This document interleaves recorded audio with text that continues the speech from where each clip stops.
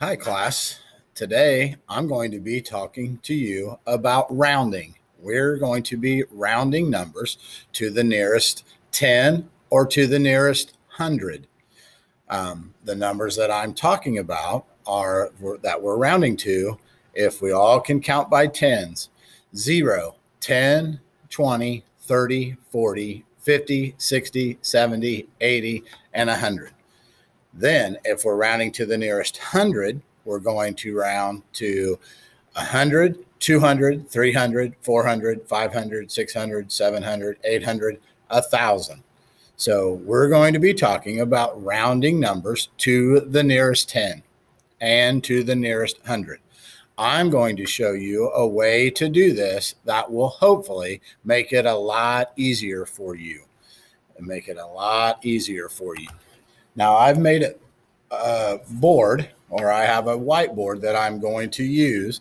And on the top of it, I gave you a little, what I call a little cheat sheet or help you to remember which way you go. So as I finish this, I will show you what I'm talking about. And the other thing is, I tried to do it on my board. I had all my stuff up there and trying to video it because of the lights and everything. You can't hardly see it. So I'm doing it from my desk and using a whiteboard. But as you can see on here, I have the numbers, and this is just in the ones column when we're rounding to the nearest 10. If it ends in a one, two, three, or four, which is right here, we stay at that 10. For instance, if the number is 23, the three tells us to stay. I know I'm going to stay at 20, and I want to show you how that works. Now, if the number ends in five, six, seven, eight, or nine, we're going to round up. So if we if you notice when I first started, we counted by tens. And I said 10, 20, 30, 40, 50, 60, 70, 80, 90, 100. So if I'm at 23 again, or let's say I'm at 25 and the five tells me to round up, then that means 20. I know what 10 comes after 20. I tried to keep the board right over here up so that you can see the tens listed down there. Starts at zero at the top and ends at 110. And 110 you probably can't see. And you're probably having trouble seeing those two. But like I said, the glare in the room doesn't make it very easy to make these videos. So as we go through this, one, two, three, or four tells you to stay. Five, six, seven, eight, or nine wants you to round up wants you to round up. So as you can see, I have a number line, an open-ended number line. It's open-ended because it has arrows at both sides. That means the line, the numbers go on and on and on, both directions. So if I'm going to round to the nearest 10 and my number is 23, like that's how I first started out, my number is 23. I'm going to show you how to fill out this chart to help you. Because I know it's 23, I'm going to put 20 right here. I just bring that 2 and put the 20 right there. Then I know the next 10, if I go 10, 20, I know I'm going to put 30 here.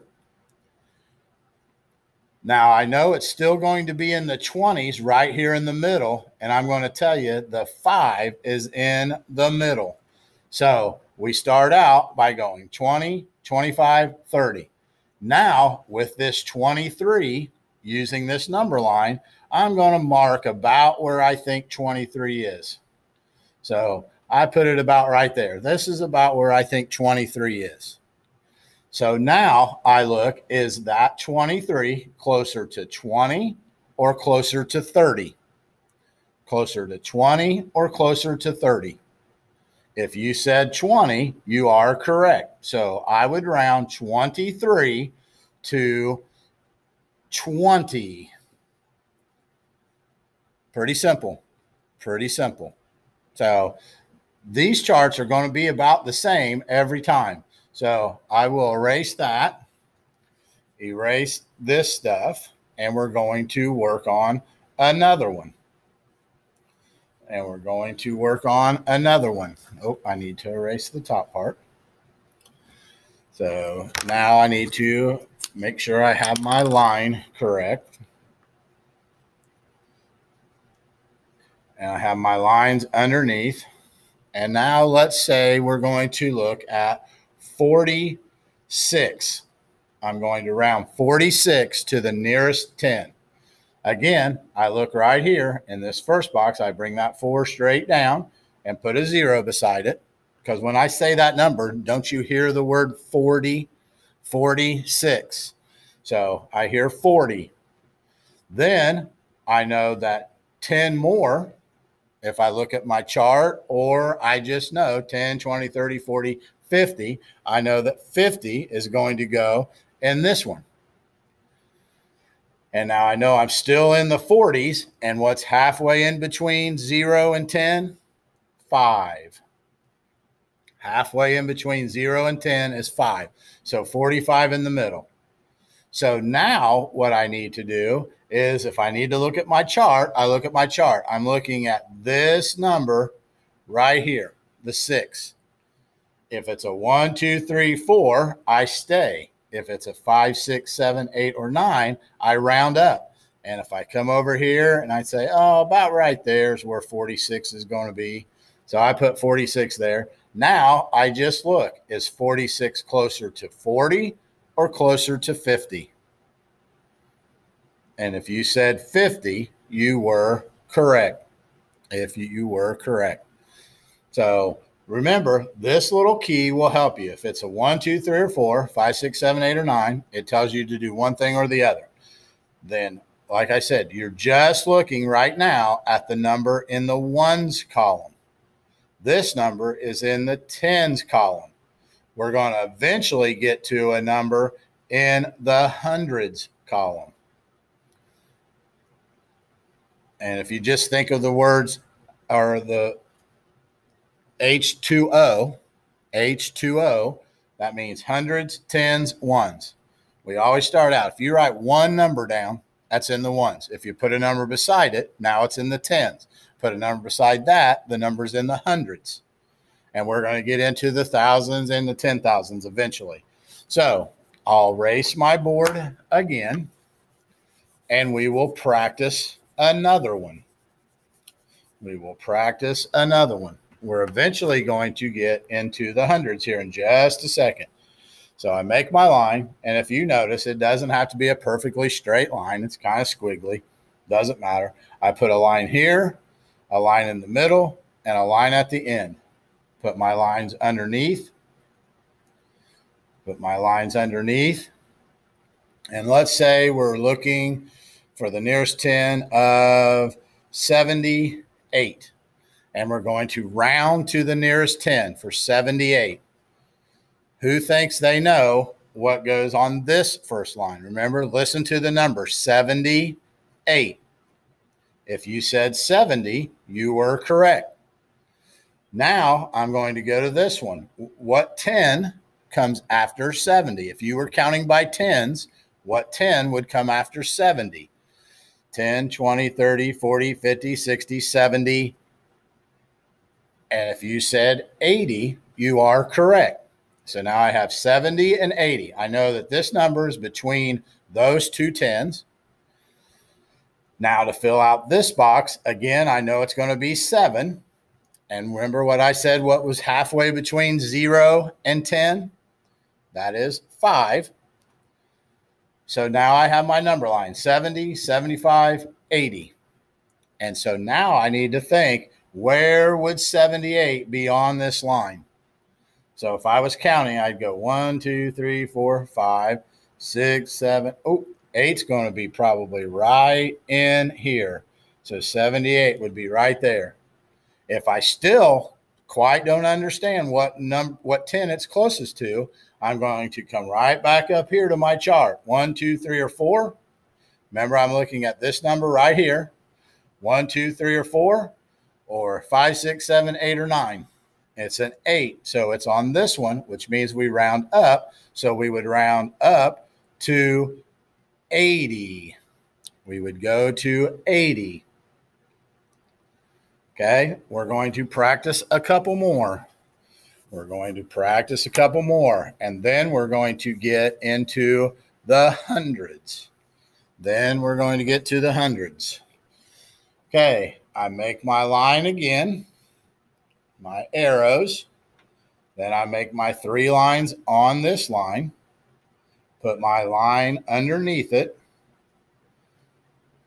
And let's say the number is um, 20, or uh, let's do another number. How about 40, 44? We'll do the number 44. If the number is 44, I know right here is going to be 40. Bring that four down, put a zero beside it. What 10 comes after 40? 10, 20, 30, 40, 50. Then halfway in between, I know it's still going to be in the 40s. And I told you halfway between zero and 10 is always five. So 40, 45, 50. Basically, they're, you're counting by fives 40, 45, 50. Okay. And then if it was 20, it'd be 20, 25, 30. So now I figure out the 44. Again, I'm looking at that number right there, which they're both the same, but I'm still only looking at that first four. And I'm going to say, hmm, 41, 42, 43. Oh, I bet you 44 is going to go right in there. Now I look on my chart. If it's between these two, then it stays at 40. If it's between these two, then it goes to 50. So this one stays at 40. Stays at 40.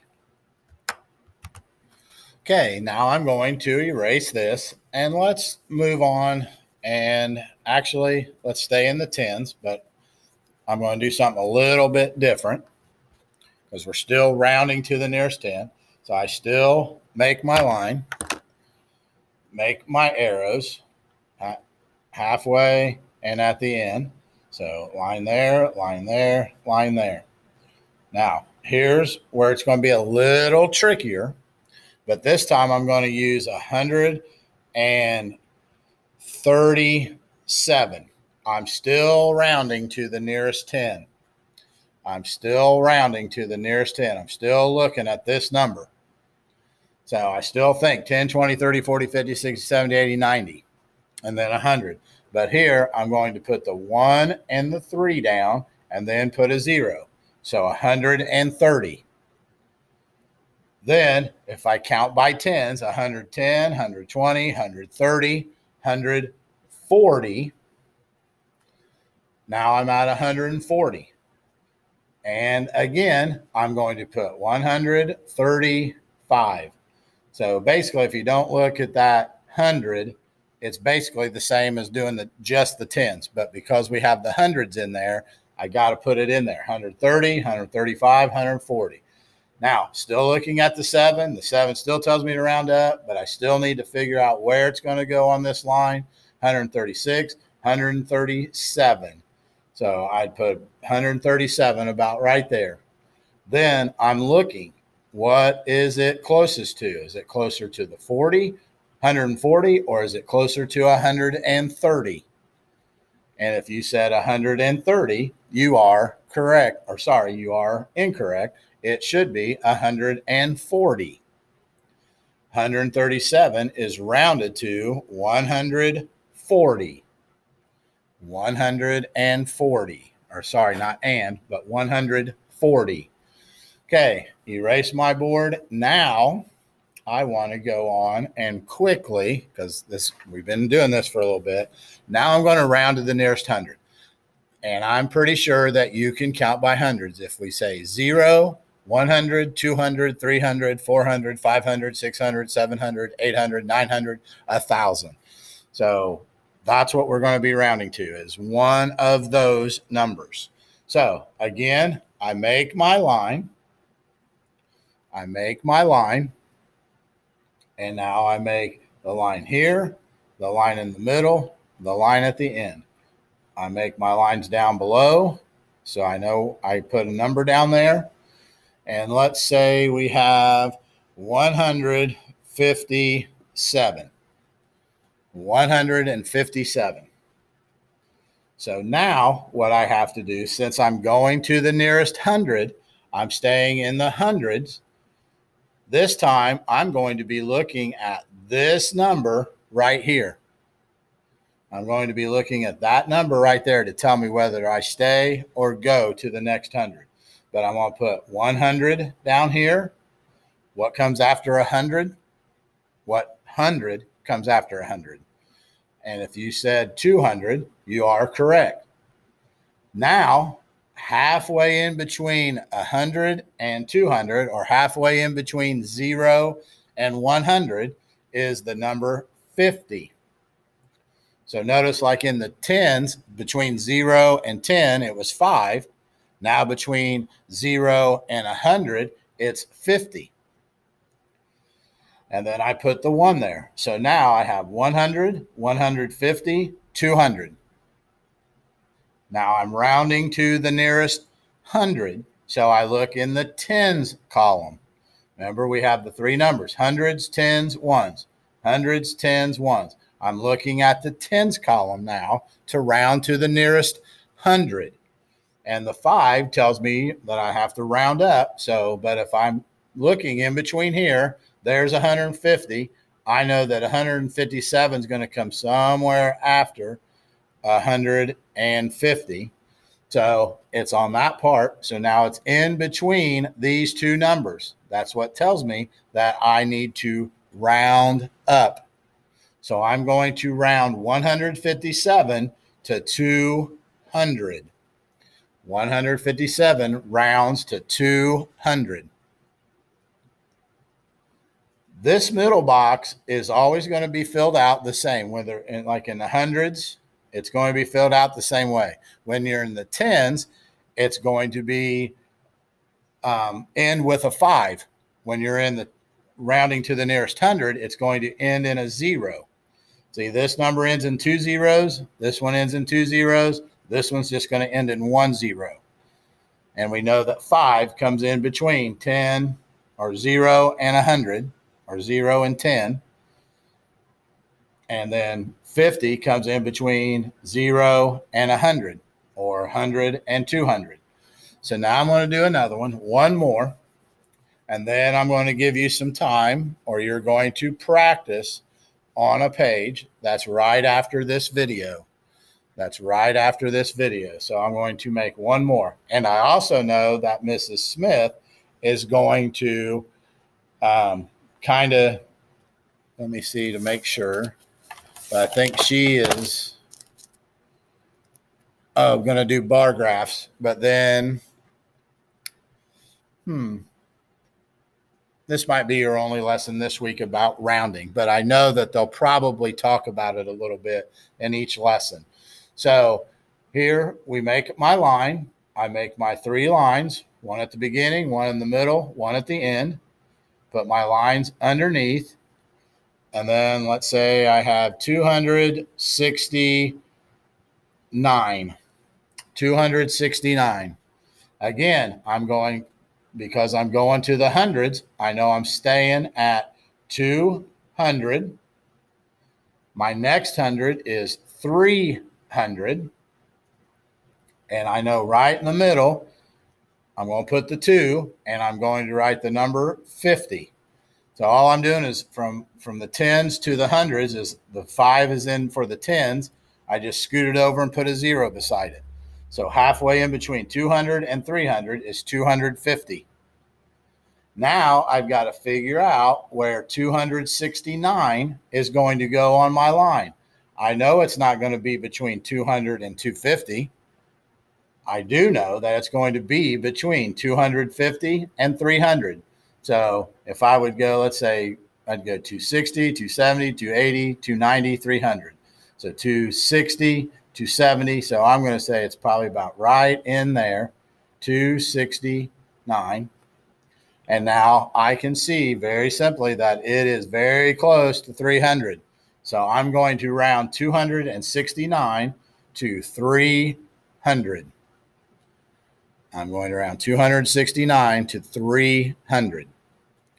Now, real quick, I'm going to leave a couple things up here, but I want to talk about place value, which that's what this is hundreds, tens, ones. If I just write down one number, if I just write down one number, it's in the ones column. So I put a seven in the ones column, a seven in the ones column. Then if I put a number beside it, that is now in the tens column. So that's the ones column, that's the tens column. If I put a third number down, it's now in the hundreds column. So just simple place value ones, tens, hundreds, thousands. So I'll even write that on the board ones, tens, and hundreds. That's, so that's where I get the H to zero. Hundreds, tens, ones. The other thing I want to point out real quick is if your number ends in one, two, three, or four, you're going to stay at that 10 or that 100. If your number ends in five, six, seven, eight, or nine, then you're going to round up to the next 10 or the next 100. And if you use that chart, that arrow, and fill that out each time, it's going to make it a lot easier for you. It's going to make it a lot easier for you. So hopefully you understand what we talked about. We, if we were in class, we would be doing a lot more examples and you would be doing it on your whiteboards, but try to make your chart. If you have to put this up there, remember that one, two, three, four, five, six, seven, eight, nine. Stay, round up. You can also make your place value chart hundreds, tens, ones when you're filling out this chart, this chart, if you're going to the nearest 10, this one's going to end in five. So like 25. If you're going to the nearest 100, then it's going to be something 50. It's going to be something five for the tens and something 50 for the hundreds. So hopefully that helps you out. And I do know that if you go on YouTube and say something about um, rounding, there'll be all kinds of videos on YouTube to help you out to understand rounding to the nearest 10 or the nearest 100. Thanks, guys, for listening. And tomorrow you'll be with Mrs. Smith, and she's going to be talking about bar graphs. She'll be talking about bar graphs. See you later.